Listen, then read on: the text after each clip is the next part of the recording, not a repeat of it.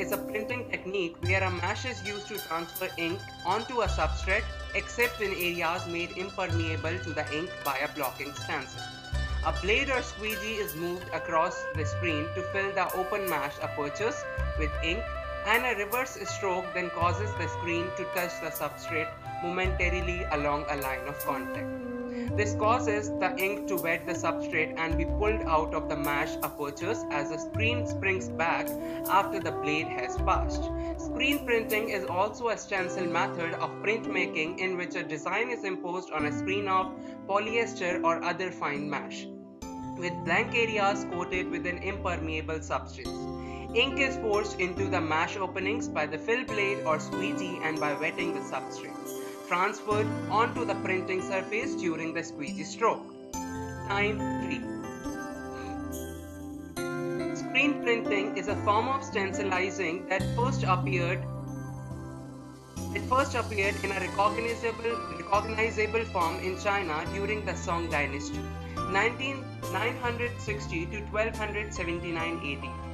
It was then adopted by other Asian countries like Japan and was further refined by creating newer methods. Screen printing was largely introduced to Western Europe from Asia, sometimes in the late 18th century, but did not gain large acceptance or use in Europe until silk mesh was more available from trade from the East and a profitable outlet for the medium discovered. Screen printing is also a stencil method of printmaking in which a design is imposed on a screen of polyester or other fine mesh with blank areas coated with an impermeable substance. Ink is forced into the mesh openings by the fill blade or squeegee and by wetting the substrate. Transferred onto the printing surface during the squeegee stroke. As the screen rebounds away from the substrate, the ink remains on the substrate. It is also known as silk screen, screen, serigraphy and serigraph printing. One color is printed at a time, so several screens can be used to produce a multicolored image or design. There are various terms used for what is essentially the same technique. Time 5. Traditionally, the process was called screen printing or silk screen printing because silk was complete silk was used in the process prior to the invention of polyester mesh. Currently, synthetic threads are commonly used in the screen printing process. The most popular mesh in general use is made of polyester. There are special use mesh material of nylon and stainless steel available to the screen printer. There are also different type different types of mesh sizes which will determine the outcome and look of the finished design on the material. Screen printing was introduced to Western Europe from Asia in the late 18th century but did not gain large acceptance or use in Europe until silk mesh was more available for trade from the East and a profitable outlet for the medium discovered. Early in the 1910s, several printers experimenting with photoreactive chemicals used the well-known actinic light, activated cross-linking, or hardening traits of potassium, sodium or ammonium chromate and dichromate chemicals with glues and gelatin compounds. Roy Beck, Charles Peter and Edward Owens studied and experimented with chromic acids, salt, sensitized emulsions for photoreactive stencils. This trio of developers would prove to revolutionize the commercial screen printing industry by introducing photo image stencils to the industry though the acceptance of this method would take many years. Commercial, commercial screen printing now uses sensitizers for safer and less toxic than bichromates. Currently, there are large selections of pre-sensitized and user-mixed synthesized emulsion chemicals for creating photoreactive stents, photoreactive stencils. A group of artists who later formed the National Serigraphic Society, coined the word serigraphy in the 1930s to differentiate the artistic application of screen printing from the industrial use of the process. Serigraphy is a word formed from Latin sericum, silk, and Greek graphein, to write or draw. Time 745. While coating the screen, make a thin, smooth, even coating on both sides of the screen trying to avoid drips and ruts. Time 8. Now place the screen in the dark room to dry out. Make sure the emulsion on the screen is completely dry on both sides before attempting to begin. Artwork. Print out. The inked surface has to be turned towards the emulsion on the screen. Do not turn on the lights as the screen is still light sensitive. The screen has to be laid down on the glass of light table or sunlight duration for exposing to light box. Carefully keep the screen frame on the artwork transparency and with, and with proper pressure. Ensure there is even contact between the screen and the artwork. Turn on the lights of the light box for exposing for 5 minutes or, sun, or sunlight timings is according sunlight intensity 1 or 1 or half minute. In 1907, Samuel Simon patented screen printing in England. At first, the process was used to print interesting colors and patterns on wallpaper and fabrics and then by advertisers. Eventually, however, it was adopted by artists as a, conven- as a convenient and reliable way of reproducing their works. In today's contemporary world, screen printing is used by fine artists, along with commercial printers who use graphic screen printing to place images on t-shirts, DVDs, glass, paper, metal and wood. In the 1930s, a group of artists who wanted to differentiate what they did from the commercial world formed the National Serigraphic Society. In doing so, they linked the word serigraphy with fine arts and screen printing.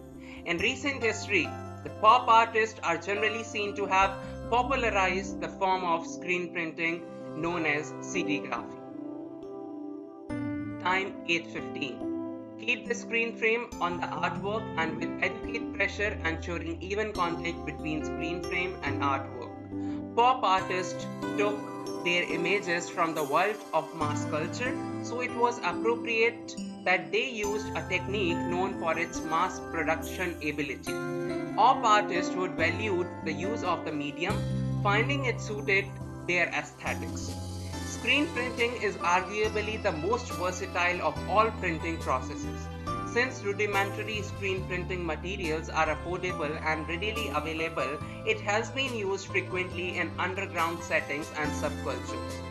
And the non-professional look of such DIY culture screen prints have become a significant cultural aesthetics cultural aesthetics seen on movie posters, record album covers, flyers, shirts, commercial fonts in advertising, in artwork and elsewhere. Time 9:15. Clean the screen frame with water immediately. Please 918. Dry in sunlight, clean exposed artwork frame. In the 1960s, first Eduardo Paolozzi and then Andy Warhol began to use screen printing as a fine art technique. Many artists have used the medium to reproduce imagery appropriated from popular culture and challenge ideas about what could be art. Contemporary artists like Ryan McGinness follow in their footsteps. In screen printing, the screen is first created by stretching a fabric, example silk, over a frame of wood or aluminium. The image is first drawn manually or with software on a piece of paper or plastic or captured in a photograph. Then it is cut then it is cut out to form a stencil. Next the stencil is attached to the screen.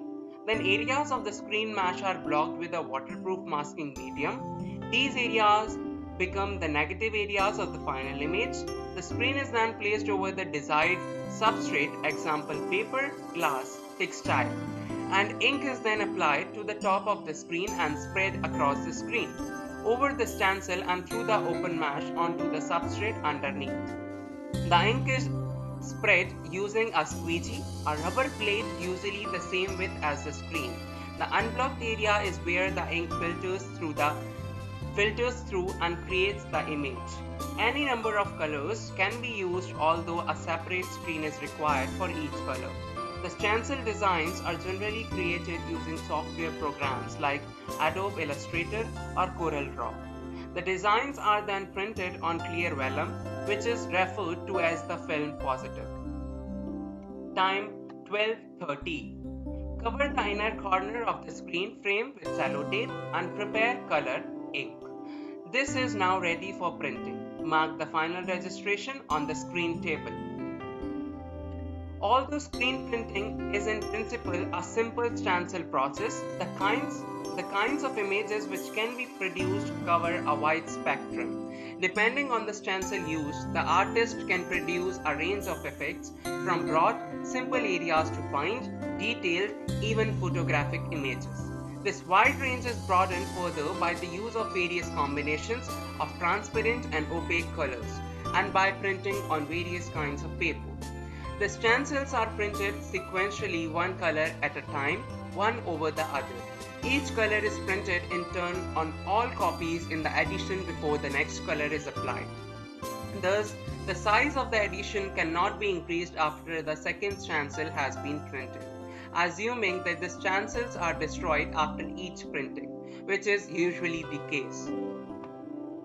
Because screen printing was a preferred medium of the op artist, it became the predominant printmaking technique in the 1960s and 1970s. Important artists of that time were Henry Sternberg, Roy Lichtenstein, Andy Warhol, Robert Indiana, Nicholas Krushenick, Victor Vasarely, Josef Albers, R.B. Kitaj, Robert Rauschenberg, Richard Hamilton, and many others. Time 14. Example artist Andy Warhol. Andy Warhol was born on 6 August 1928 in Pittsburgh, Pennsylvania and was an American artist who was a leading figure in the visual art movement known as pop art.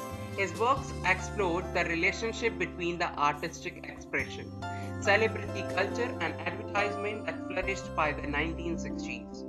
After a successful career as a commercial illustrator, Warhol became a renowned and sometimes controversial artist. The Andy Warhol Museum in his native city, Pittsburgh, holds an extensive permanent collection of art and archives. It is the largest museum in the United States dedicated to a single artist. Warhol's art used many types of media, including hand drawing, painting, printmaking, photography, silk screening, sculpture, film, and music.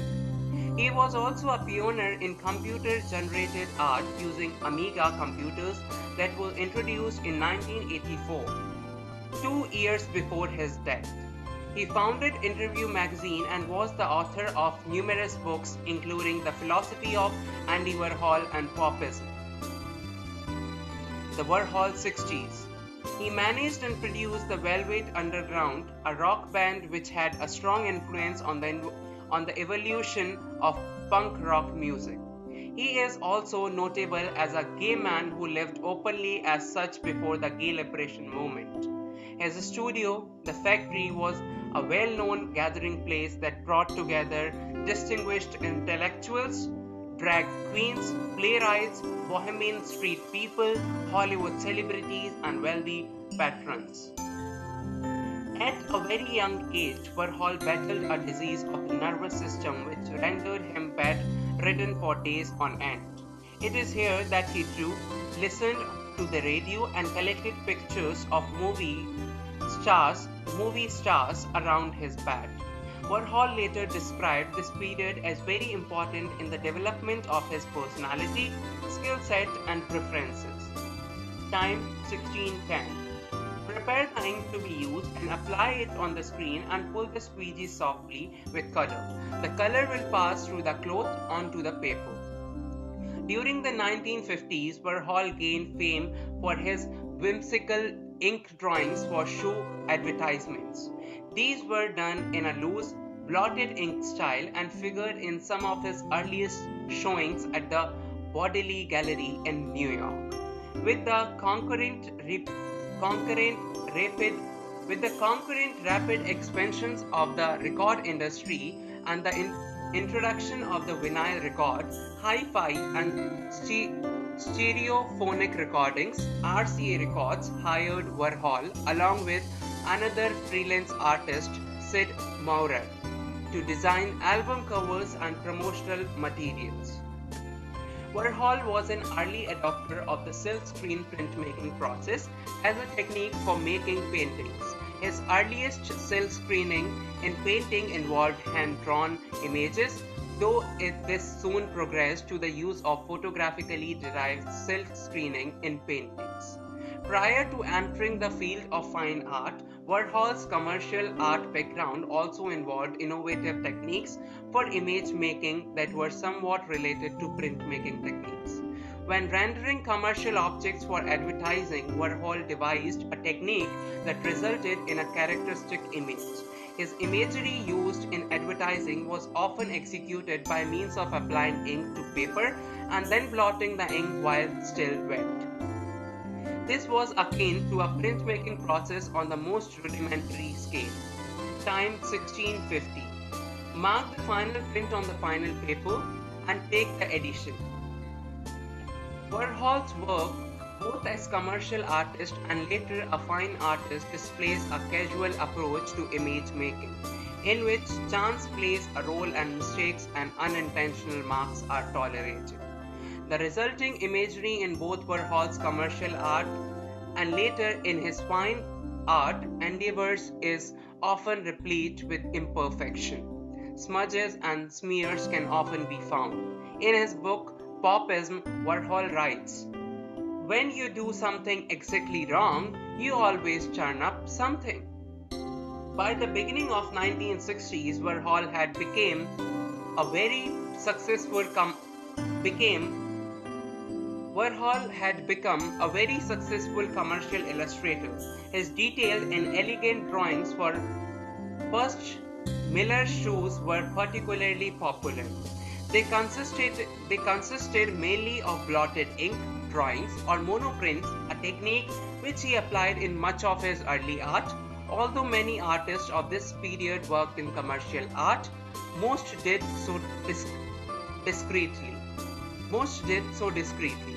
Warhol was so successful, however, that his profile as an illustrator seemed to undermine his efforts to be taken seriously as an artist. Pop art was an experimental form that several artists were independently adopting. Some of these pioneers, such as Roy Lichtenstein, would later become synonymous with the moment. Warhol, who would become who would become famous as the pop of pop, turned to this new style, where popular subjects could be part of the artist's palette. His early paintings show images taken from cartoons and advertisements hand painted with paint with paint drips. Marilyn Monroe was a pop art painting that Warhol had done and it was very popular. Those drips emu- those drips emulated the style of successful abstract expressionists such as William de Kooning. Warhol's first pop art paintings were displayed in April 1961, serving as a backdrop for New York department store Bonwit Teller's window display. This was the same stage his pop art contemporaries Jasper Johns, James Rosenquist, and Robert Rauschenberg had also once graced. Eventually, Warhol paired. Eventually, Warhol pared his image vocabulary down to the icon itself, to brand names, celebrities, dollar signs, and removed all traces of the artist's hand in the production of his paintings. Time 20. He loved celebrities, so he painted them as well. From these beginnings, he developed his later style and subjects. Instead of working on a signature subject matter as he started out to do, he worked more and more on a signature style, slowly eliminating the handmade from the artistic process. Warhol frequently used cell screening. His later drawings were traced from slide projections.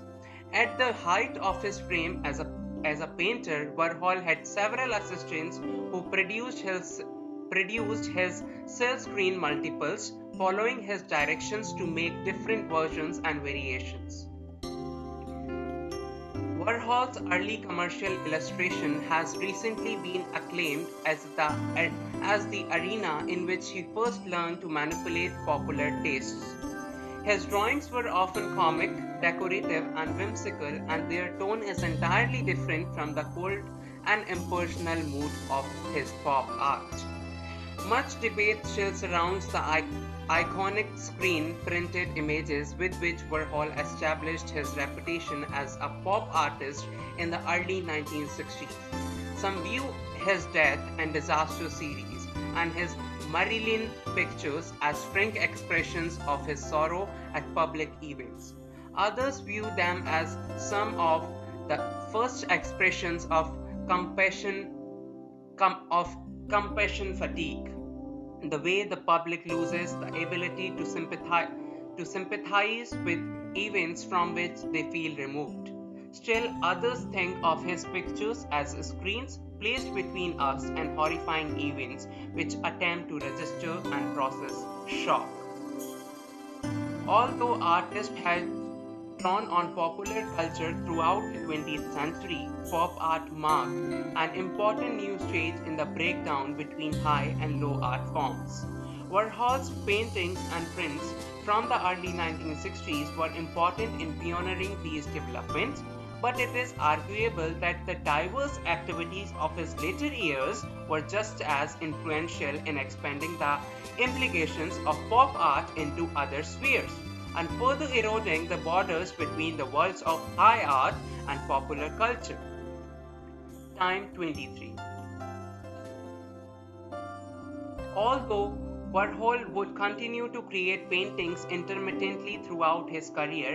In 1965, he officially retired from the medium to concentrate on making experimental films. Despite years of neglect, these films have recently attracted widespread interest, and Warhol is now seen as one of the most important filmmakers of the period. Critics have traditionally seen Warhol's career as going into decline in 1968 after he was shot by Valerie Solanas. Valuing his early paintings above all, they have ignored they have ignored the activities that absorbed his attention in later years. Films, parties, collecting, publishing, and paintings commission portraits.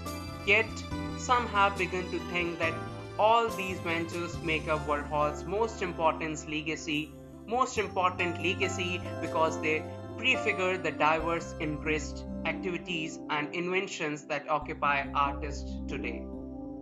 Warhol died in Manhattan on February 22, 1985, 1987, in sleep from a sudden post-operative cardiac arrhythmia. Post-operative cardiac arrhythmia. Arrhythmia. Post-operative cardiac arrhythmia. Cleanliness and orderliness. Cleanliness and orderliness is very important to the screen printing process. Besides its besides it impacting the overall bottom line by keeping individual color individual colors from being contaminated, for example, is also may, it also may prevent injuries. Be sure to have designated places for all your inks, equipment and tools to be stored Spend less time locating missing tools or equipment and avoiding tripping over misplaced buckets and cuts stemming from misplaced razor blades or knives. Chemical safety precautions. Many chemicals are used in and around the screen printing process. Many of these chemicals are solvents used to clean screens, spills, and equipments, while others are mixed into the ink to increase or lessen its viscosity. Since chemicals can be inhaled or absorbed through the skin, use any solvents in well-vented areas only and wear gloves where necessary. Time 26. It is a good idea to use preventive measures that protect your preventive measures that protect your eyes, skin and nose to prevent inhalation when handling chemicals.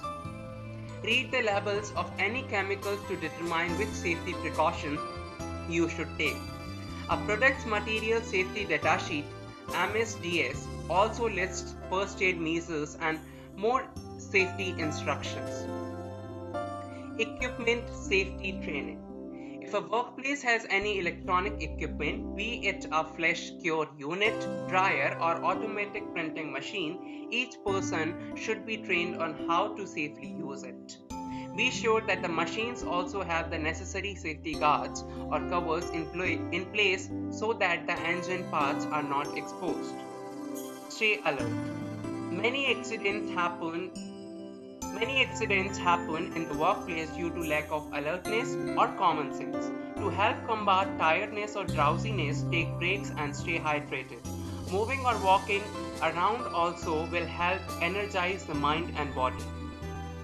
Keep distractions to a minimum when working in a when working in a fast in a fast-paced environment, especially around automated equipment. Whether the distraction comes in the form of music, cell phones, computers, or interaction with the interaction with other co-workers, minimize distractions to focus on the task at hand. Time 0. Write all details of print and the signature.